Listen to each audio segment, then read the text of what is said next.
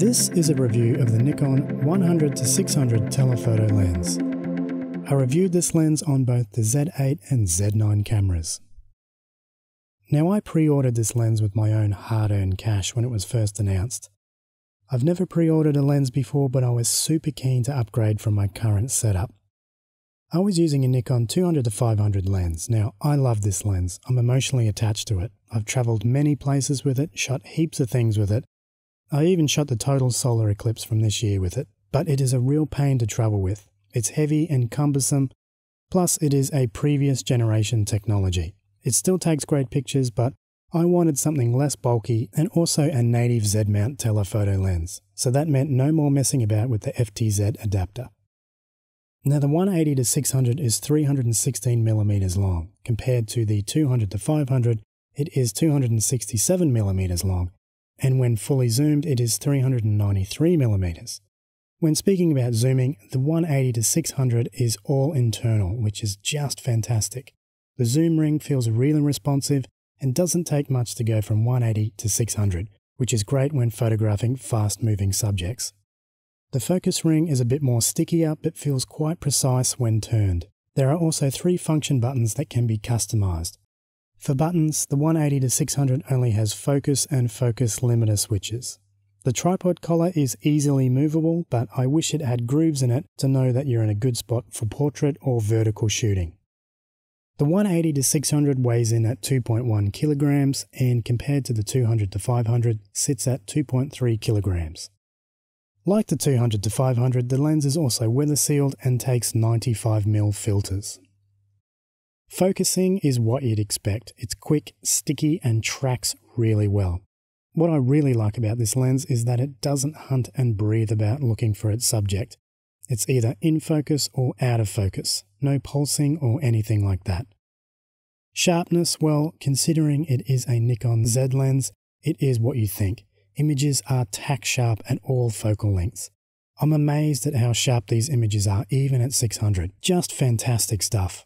Bokeh looks nice and quite smooth and tasty. Now this is all good to talk about specs, but let's go out into the field to give this lens a really good thrashing. I am on the mudflats today. It's a place where I put a lot of my new telephoto lenses and cameras to the test because it is very uh, it's, it's, a difficult location to shoot. There's a lot of background noise, it's very cluttered. There's islands over here, there's boats, channel markers, so it really distracts from the focus uh, of a small, fast moving subject as these birds land on the mud flats. Now, I have been uh, coming out here the last few weeks because one of my favourite birds, the migratory shorebird, the far eastern curlew, have arrived for their summer of feeding. So this is a bird that flies from the northern hemisphere to the southern hemisphere non-stop. They're not seabirds, so they can't land in the water. If they land in the water, they're going to drown. So these birds fly one way non-stop. So in the northern hemisphere is their breeding grounds, in the southern hemisphere is their feeding grounds. So as at uh, time of shooting now, it is early October, so they are just returning from their epic voyage. And uh, all these birds are returning very gaunt, very exhausted and very haggard because all of their energy goes into their wing muscles. So that means that all their feathers fall out, all their body fat disappears, and they get very gaunt when they arrive. Like all shorebirds, they're very skittish. So if I start moving around or come closer, they're going to take fright. And I don't really want them to do that because they have been flying for the last week. Uh, so I like to come in three hours before high tide, get set up, let them get comfortable with me and uh, I wait for them to arrive. Usually there's one bird that arrives first and then all the others, they all arrive at the same time. Because they are so skittish, I need a lens that has a long reach like the 180 to 600. Now I'm mostly shooting at 600 here because there's no way I can get close to these birds. This lens allows me to get great sharp images from a distance without startling the subject. And you know, it's got a couple of bonuses that really uh, warm my heart. The internal zooming, I mean, this is a game changer, especially out on salty sea air areas like this without exposing anything internal. I know other telephotos are all sealed and all that things, but an internal zoom here is hands down one of the big changes that I absolutely love about this lens. It's light as well, you know, walking across mud isn't the greatest thing, and with all the crap that I bring here with cameras and binoculars and tripods and chairs, something light like this lens is really a godsend going across terrain like this. Okay, we've got some uh, birds on the horizon here. They are a long, long way away. They're coming in low and they're coming in hot. They look like, yeah, curlews. This has the shape of a curlew. Constantly flapping here. What an entrance.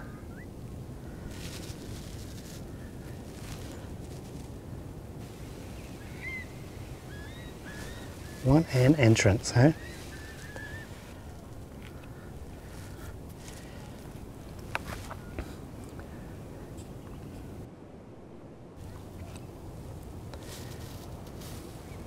Well, someone just brought their dog down here, so they're all scattering all these birds out.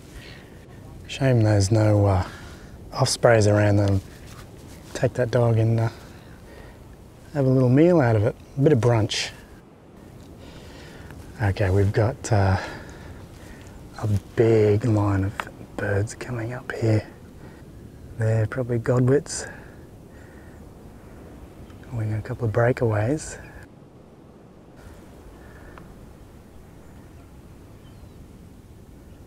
Incredible to see them. Good to see so many.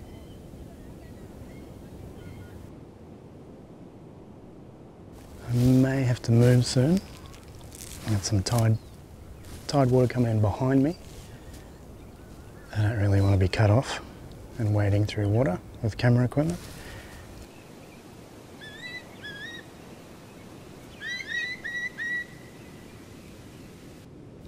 I think it's time to go.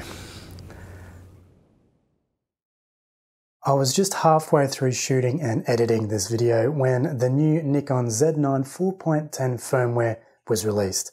This update added improved bird subject detection autofocus, so I thought I'd go back out onto the mudflats and put this lens through its paces. Again.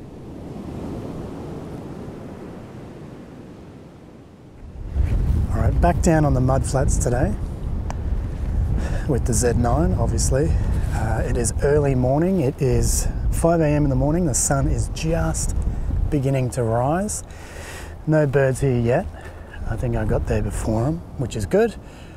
Uh, but uh, I'm interested to see how this lens and the Z9 go together with this updated firmware and this lens. Look, I think it's going to be a, just a fantastic setup, and I'm not worried about it whatsoever. I, I honestly think it's going to be 100% hit rate. We'll see how that goes, but uh, it's a little bit breezy down here. We've got a strong northerly it's still a little bit crisp temperature wise, but uh, look, it's going to be uh, it's a beautiful morning already, and I can't wait to when the birds start arriving. So, but we'll see. I just woke up five minutes ago, so I'm kind of uh, I'm not really with it at this stage. Some cormorants the distance there. Usually it's cormorants and then curlews. So when the cormorants are here, the curlews will arrive in the next five, ten minutes. I think we got some more cormorants on the horizon here.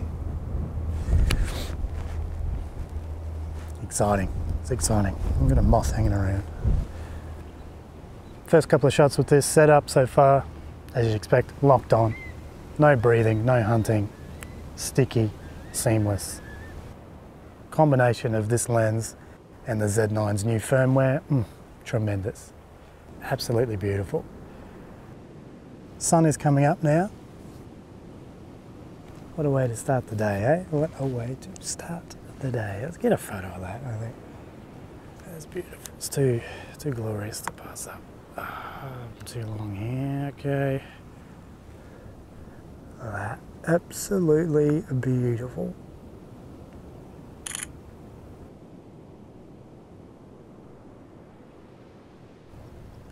Oh, something startled the curlews. One of them are off.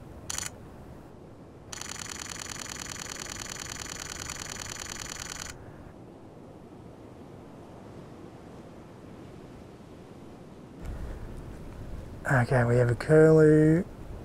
Curlew has just arrived, but they're not landing where I want them to go. So I'll just take a note of where this guy's going. Where's he going? He's off. He's off to the other feeding grounds. I don't know where they are this morning. I'm going to swing around and take a photo of these terns here.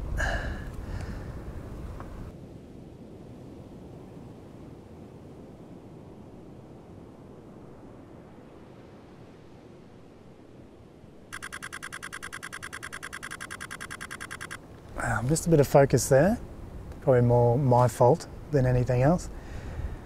But uh, that curlew saw one flew over, it took off, did a U-turn and then came back. Hang on, I just heard a little squawk here.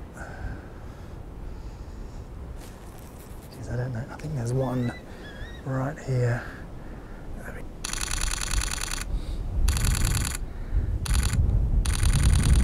There we go, lovely. Some godwits have just arrived.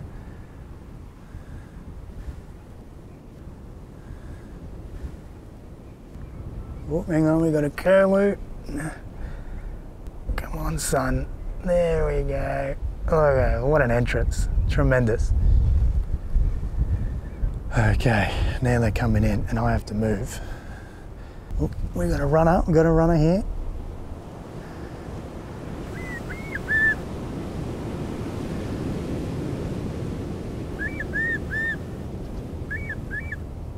This lens is probably the greatest telephoto lens I've used. Ah, I'm in love, I'm smitten, I'm in deep smit with this lens. Incredible.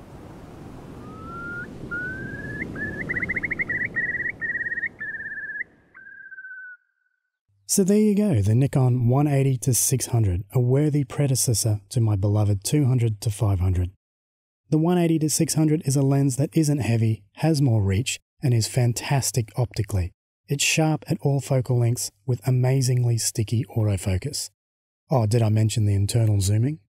This is a beast of a lens and I highly, highly, highly recommend it if you can find one.